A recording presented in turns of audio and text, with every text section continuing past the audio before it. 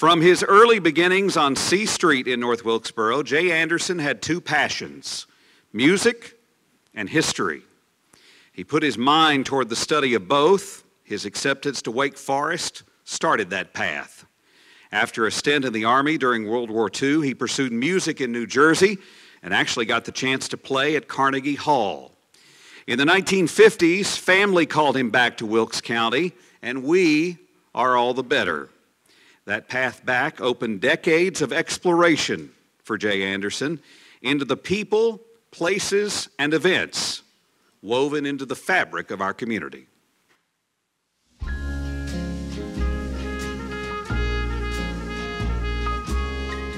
Jay left a legacy of knowledge to us. He was passionate about history before we had a museum and before we had much written um, history of the county. He really wanted Wilkes to keep its own history and to be proud of it. He didn't want Wilkes County history to go to an archive in Chapel Hill or Raleigh. He wanted it to stay here. He was an educator. He was at Klingman Elementary School for a while. And then for years, he was at Wilkes Community College. I think just from the amount of time and dedication he spent to compiling histories of Wilkes County, that he loved, he loved the county. He was a real unique person. He was a kind person. He had a kind of a wry sense of humor. I think he was interested in people. He had a great interest, of course, in Wilkes County. He was a history teacher at the community college. One of the great things he did while he was teaching was to help kids appreciate their own personal heritage. And he, he calls kids to, to, learn their own family history and uh, have more pride. I would say that was one of the, the greatest gifts that he left. I think he loved Wilkes County. He grew up in Wilkes County the histories that he has compiled for I mean, there was the book, The First Hundred Years of North Wilkesboro. It's history that would be lost without his compilations. North Wilkesboro in particular is relatively young compared to the rest of the state. It wasn't incorporated, I think, until 1890. And so when Jay was born in 1915, there was still a lot of growth happening. So he knew history, it was surrounded him. And so it was pretty logical, I would say, for him to reach out to, especially the older people, and ask them to share their stories because we're better to get it than, you know, from someone who experienced it. He helped us understand ourselves better.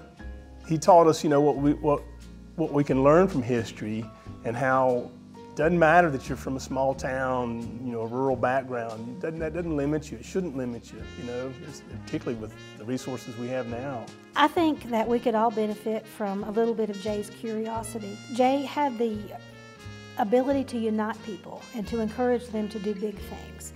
And so he didn't consider himself the official historian of Wilkes County. Instead, he worked to found or worked with groups like the Wilkes Historical Society, the Genealogy Society, Wilkes Retired School Personnel, to encourage them to write books and to collect history and to preserve local landmarks and to organize historical tours because he knew how important it was and he knew that it wasn't possible for one person to be responsible for that on his own. Whatever he took on to do, he did it to the best of his ability. Whenever anything was given to our church in his honor, he always would say, give that to the Boys Town Home or give that to someone else. He was just a good person. Odds and ends, Wilkes County sketches, a disjointed history. Jay never took himself too seriously, and he never strayed too far from those early loves from C Street and North Wilkesboro High School. Music and history may not seem as important in a world that's focused on math and science, but they are the roots. They're what tie us together. And we understand those ties that bind better here in our part of the world, thanks to the newest member of the Wilkes County Hall of Fame, Jay Anderson.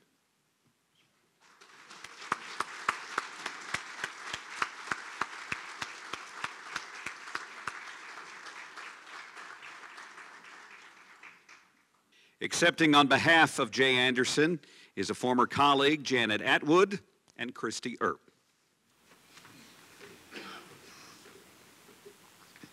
So what do you know about Wilkes County history? Did you know that our first European settler, a man named Christopher Gist, was the grandfather of the famous Cherokee Sequoyah, who created the Cherokee alphabet in 1821, or that William Lenoir, Wilkes County's first clerk of court, became the first president of the Board of Trustees of the University of North Carolina. Or that, even though we're fond of remembering the more colorful elements of our past, like the murders and the moonshine, we can also celebrate the fact that over the past 200 years, we have been home to over 100 schools, more than 20 newspapers, and many poets, writers, artists, and musicians. Jay Anderson wasn't the first person to discover these things, but he made it his life's work to pursue the records of our past, to seek out the people who lived our history, and to record their stories. He has given us access to our rich heritage through his many books, newspaper articles, and oral histories. Jay wrote the following note of appreciation in his 1976 book, Wilkes County Sketches, and I'll quote that here. The research and many hours spent on this have convinced me more than ever that Wilkes County is indeed a wonderful place in which to live. The land is heaven blessed. But even more, the people of Wilkes are wonderful. From the first to the present day citizens, there has been and is insistence on freedom of thought and action. Now, I hesitate to admit this since I also came into being in 1976, but it's been 47 years since these words were recorded. A lot has changed in our county in those years, but I think Jay would sincerely hope that the people of Wilkes still value our history and that we still insist upon freedom of thought and action. On behalf of Jay Anderson, Janet Atwood, and Wilkes Community College, thank you for this recognition of Jay Anderson.